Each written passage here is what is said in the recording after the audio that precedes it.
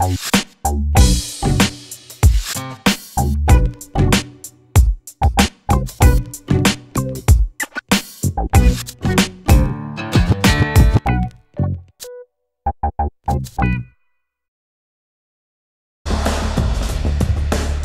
Mobileye system continuously scans the area in front of your vehicle, detecting all types of vehicles in your path, including motorcycles. The system calculates the relative speed and in critical situations, issues both a visual and auditory warning of an impending collision with the vehicle ahead.